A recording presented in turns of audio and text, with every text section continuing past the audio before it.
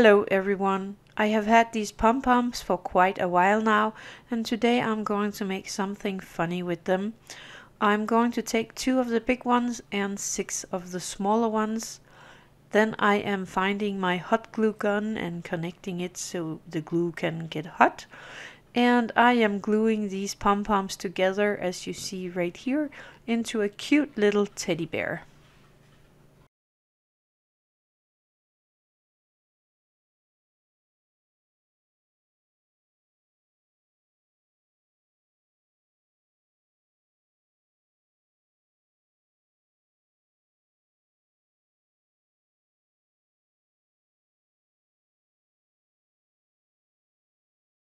I am taking one of these small pom-poms and I'm cutting off the bottom of them.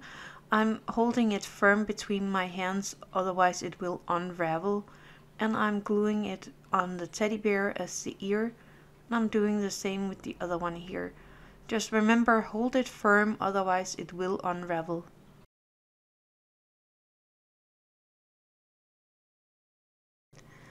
I have some colored pom-poms. Remember you need at least two of the big ones and four smaller ones for the teddy bear. You can make the ears of polymer clay and I will show you in a minute how to do that. So you can do them in all kinds of colors if you like to.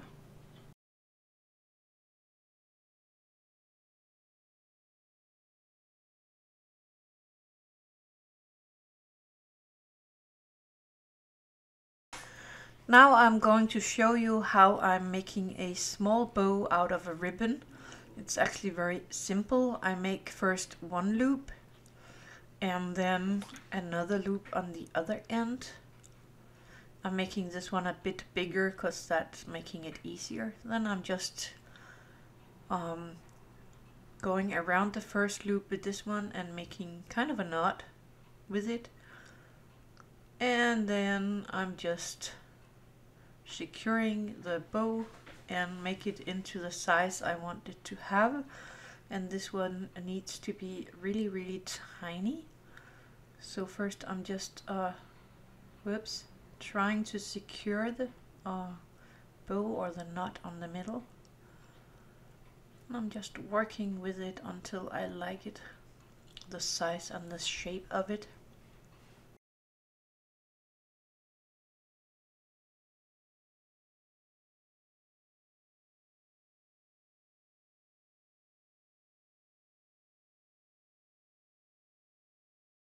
When the bow have the size I want it to, I'm just cutting off the ribbon so these have the length that I like.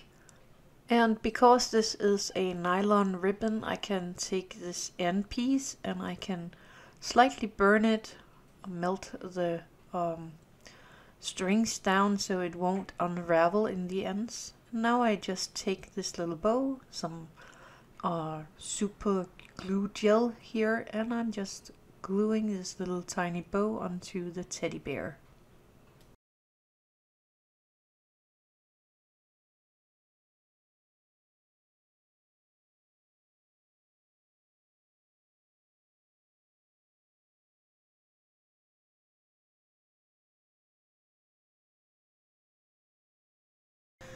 So I have two small circle cutters here and the one of them I actually made into a triangular shape for a nose.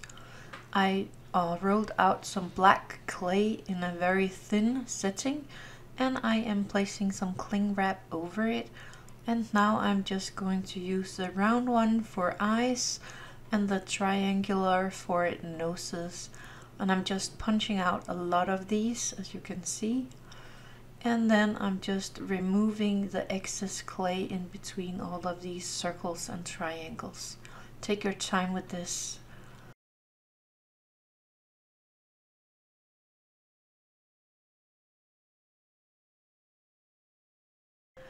I also rolled out some white clay so that I can make some rabbit's ears and I'm just showing you here how I cut them out and the way that I'm shaping them.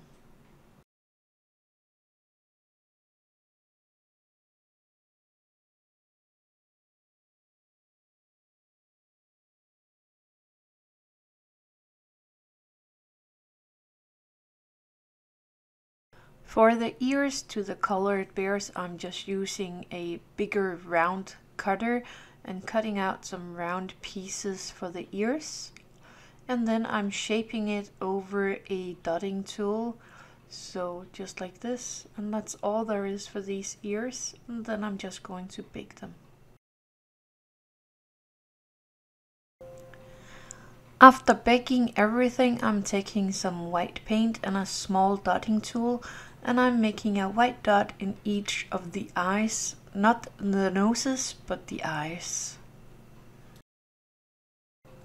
Then I'm removing all the noses into a little container so they are safe. And I'm using a glaze for Fimo to glaze the eyes, all of them and making sure that they have the glaze all over. When the glaze is all dry, I am going to glue these teddy bears together. The rabbit's ears, I'm just putting a tiny bit of glue on them and sticking them in place. So that's the ears for the rabbit. Then I am taking a tiny bit of uh, super glue, that's the super glue gel, and placing the nose.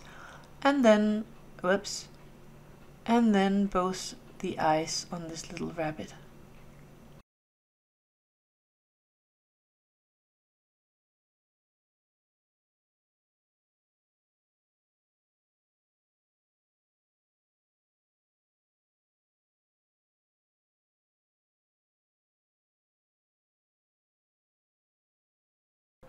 The little teddy bear is just getting a nose and the eyes.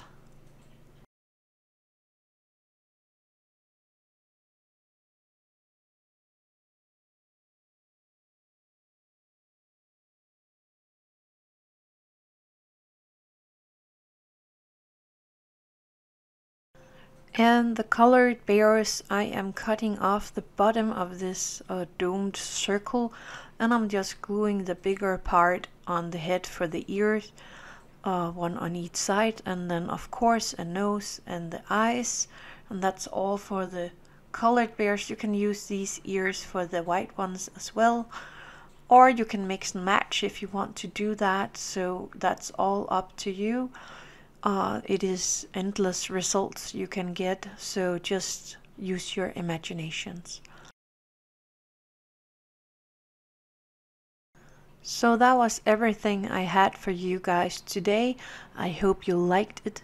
Please give it a like, showing the algorithm that you like my stuff. That will mean a lot to me. Thank you for watching and happy crafting.